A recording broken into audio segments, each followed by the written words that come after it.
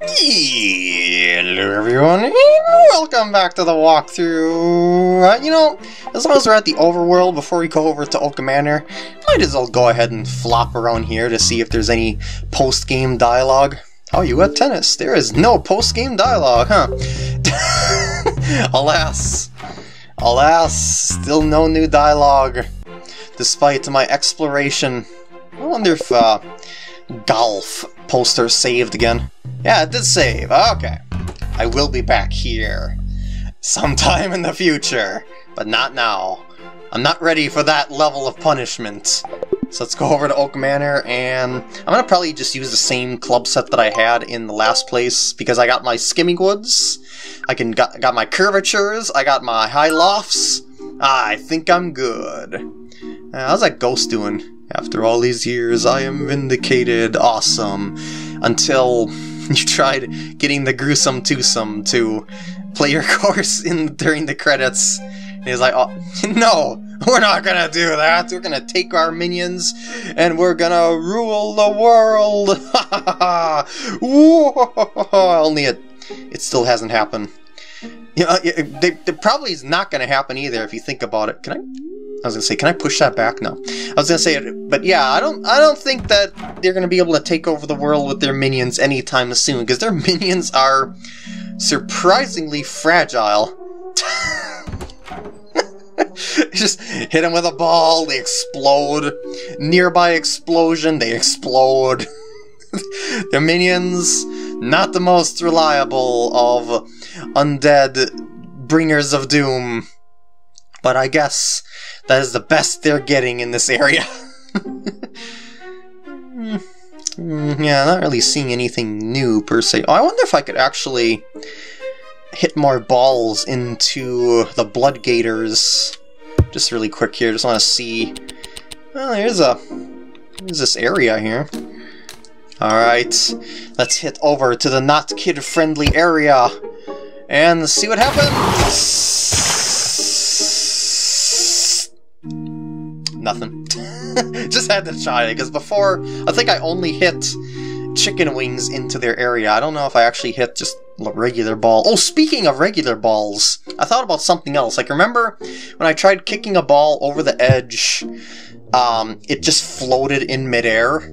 Like, uh, but what happens if I kick a ball in the water? Okay, so that, that does things normally. But yeah, um, normally, it, it should just, you know, just... How did I do that? I mean, that, was, that was, that was just been... Holy poopers! Holy poopers! Look what the poop!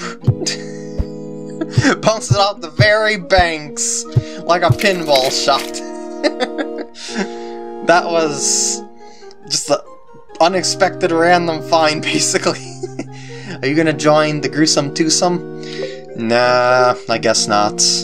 I guess not. You're you're a good non-minion, or just good zombie skeleton guy. You're you're a catcher, and the catchers, they uh, clear out this area. Pardon me here, really quick. There, okay. Okay, I'll leave that one. I don't know, I'm just messing around.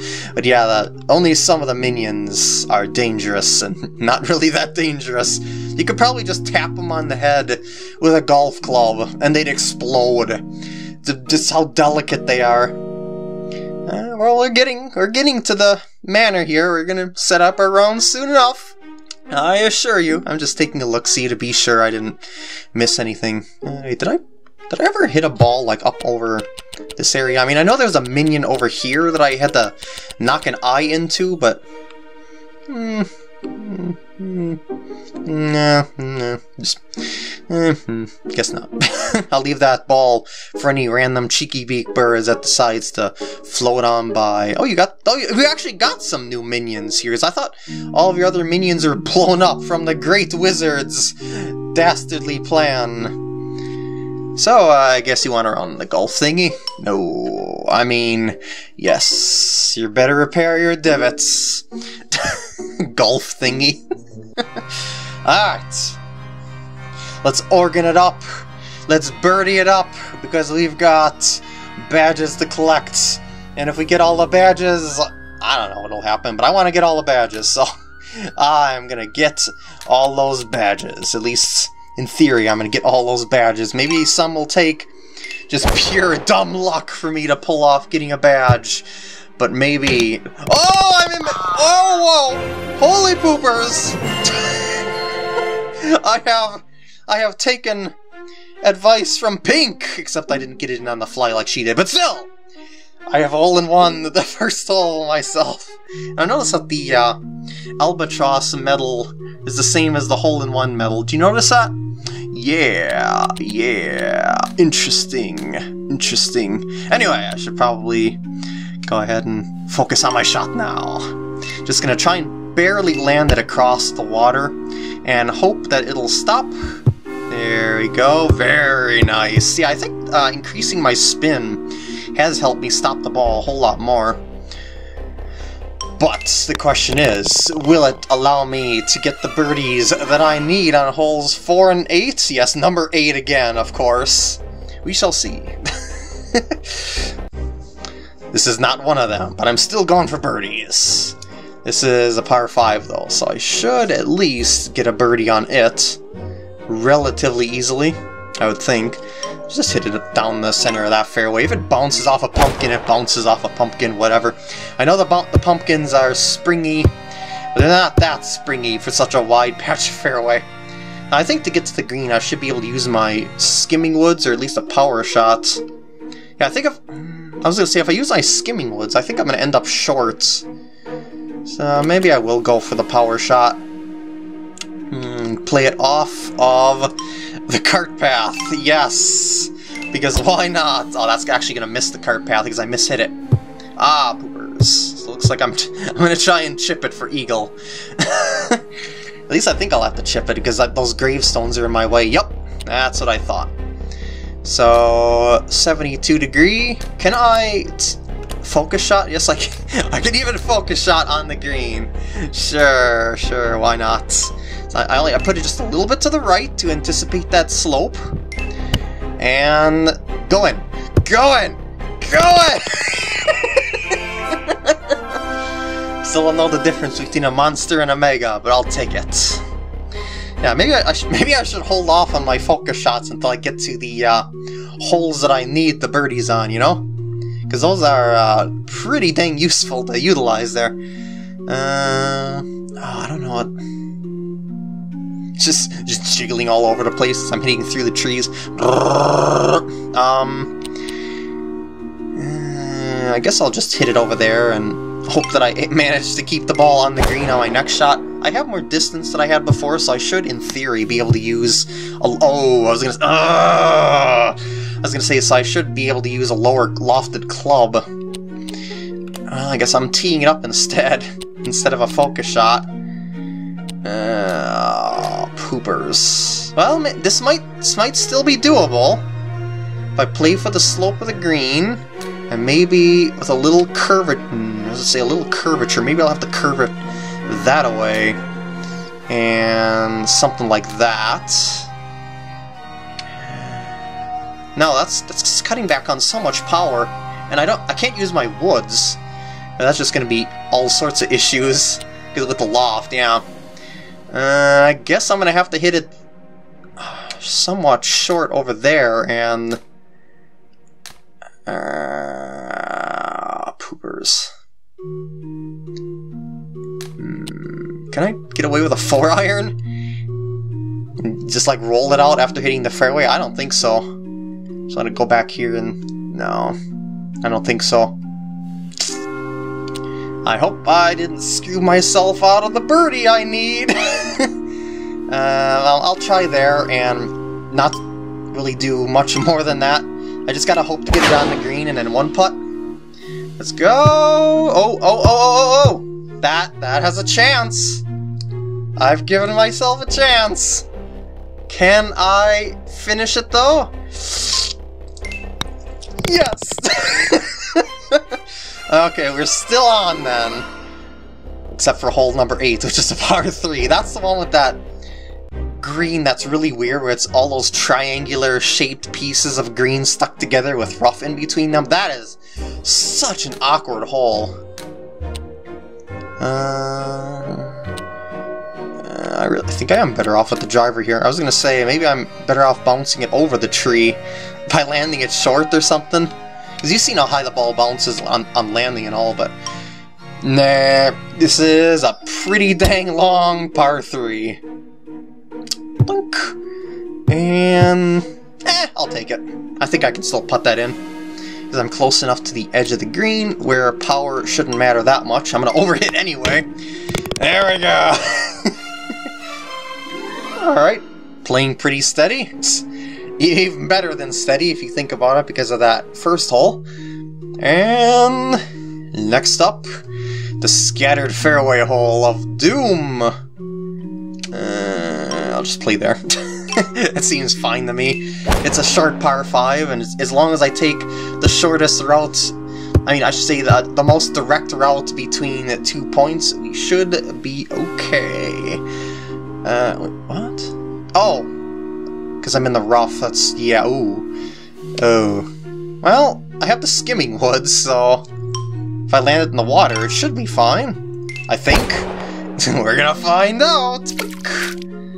Uh, uh, okay, I'll take it. It's good. Maybe. uh,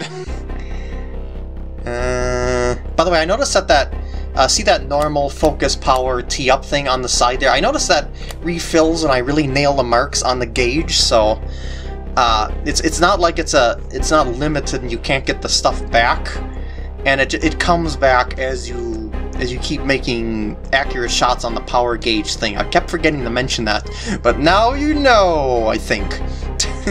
I think if I hit this at max yards, I mean power, it should. Oh no, maybe I should have chipped that because it's just I didn't have nearly the power that I needed that I could with my 72 or something.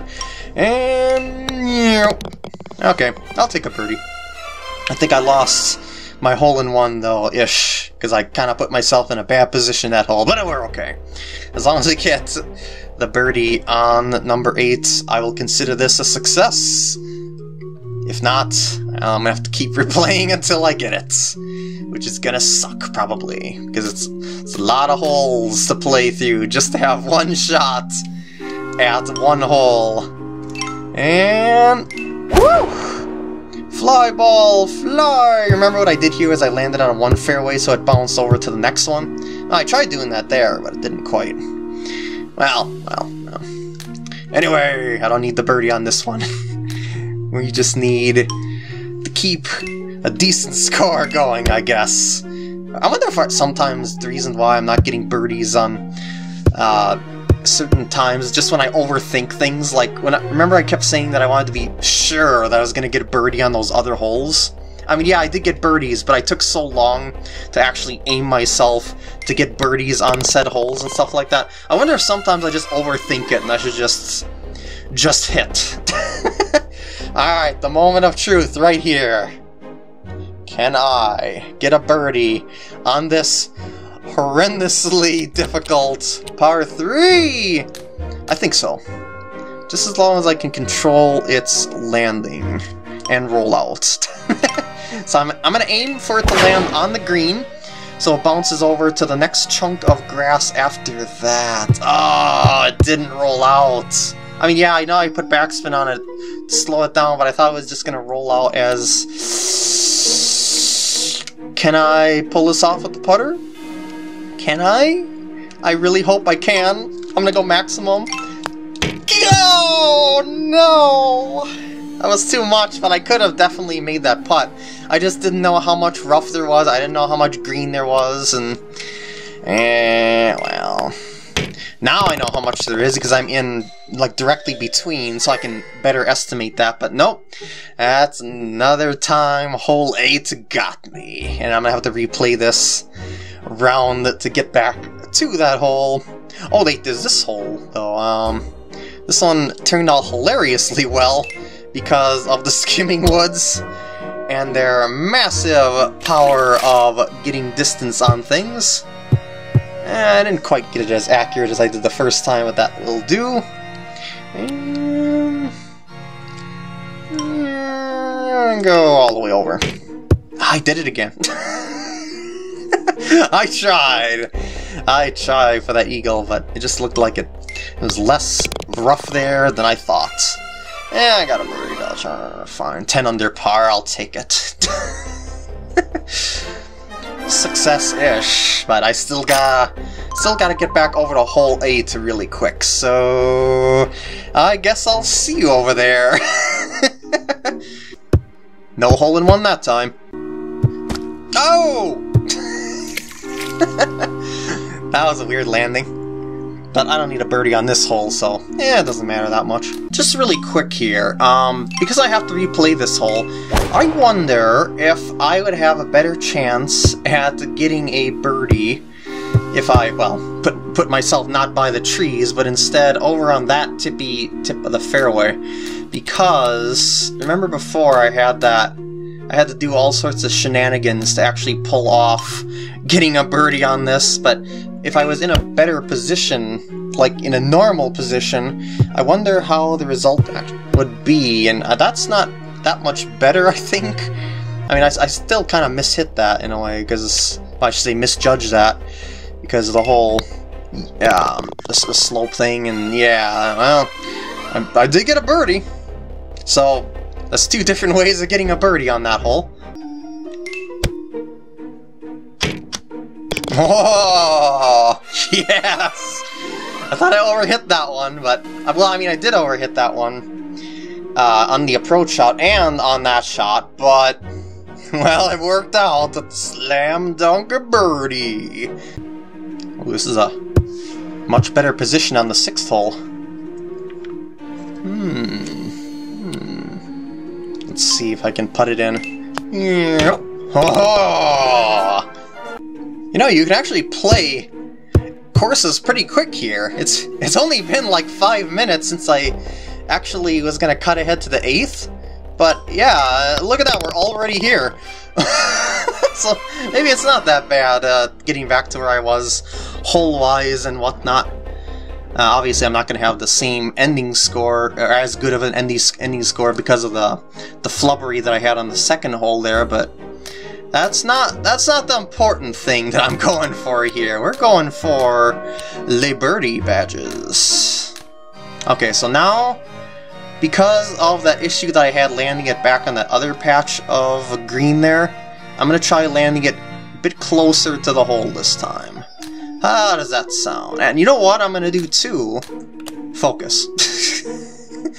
Let's eliminate all the variables including the wind, and let her fly. Come on, baby, get close, get close, get close, get close! Yes! This looks good! I mean, it's probably always going to be, or almost always going to end up in the rough on this hole, because this green is ridiculous, but the thing about it is, you don't really have much to work with here. But I got the birdie! so that means it is a 100 complete, well, 100, 100% complete scorecard, unless you want to go to the ultimate perfect chip in for a distance thing that I described before. But you don't want to do that, I don't think, unless you are feeling masochistic. And also, I noticed something on the flyover. This tree is in the water! How did I never notice that before? Well, it doesn't seem to be too worried about being in the water, because it's thriving pretty well, I guess. But still, I would think that it would be drowned there by now. I mean, just look at the size of that tree. It's had to have been in the water for ages. anyway, let's finish this round so we can end off the part officially, shall we? Oops, no, no, no. Alright, no, no, go a little, little bit lower loft, yes. Just so I get that little bitty rollout with my 64. Boink! At least I'm hoping for that so I can chip it in. Yeah! And with that, not too shabby of a round, I'm going to end off the part here. So I hope you enjoyed, and I'll see you in the next part when I go ahead and attempt to retackle Tidy Park, I guess. Cause, uh, and hopefully, hopefully that ninth hole will not be the doom of me once again.